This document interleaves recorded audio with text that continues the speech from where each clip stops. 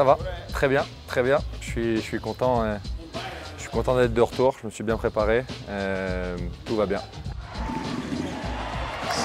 Geoffrey Lauvergne qui avait bien pris sa position. Je vais faire de mon mieux et euh, en effet, je pense que cette année, euh, en tout cas sur le papier, euh, sur le papier, on a une équipe euh, qui est beaucoup plus homogène avec plus d'expérience. J'y crois, j'y crois, voilà. Spécifiquement dans le jeu, qu'est-ce que tu euh, espères le- apporter le plus? C'est L'impact, le scoring, l'expérience? Oui, bon, j'espère un peu de tout ça, euh, surtout les- surtout l'expérience. Après, euh, honnêtement, moi je sais que je peux faire pas mal de choses et je ferai, je ferai déjà de mon mieux. Et puis en fonction de, de- de- ce que les coachs attendent de moi, je ferai, je ferai en sorte de m'adapter euh, et, et de fitter dans ce qu'ils me demandent. Comment tu juges la construction de l'équipe cette saison en Euroleague?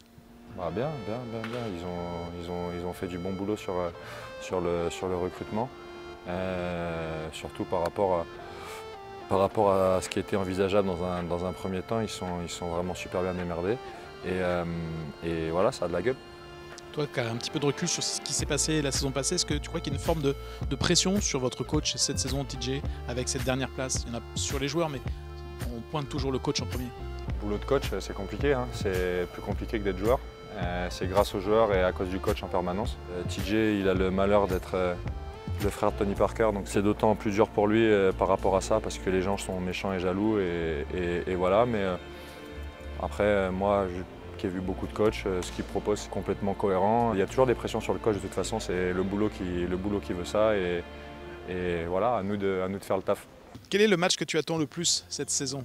Il y a beaucoup de matchs qui sont, qui sont intéressants. Après, c'est sûr que les équipes qui ont vraiment compté pour moi dans un moment de ma carrière, comme Jalgiris et le Partizan, ça va être des, ça va être, euh, ça va être des matchs avec, euh, comment dire, euh, ça va être des particuliers pour moi. Et puis, puis après, les matchs particuliers, c'est aussi les matchs qu'il est crucial de gagner. Donc ça, on, verra, on verra plus tard. Quasiment l'unanimité des, joueurs pointe le partisan comme la meilleure ambiance de Euroleague.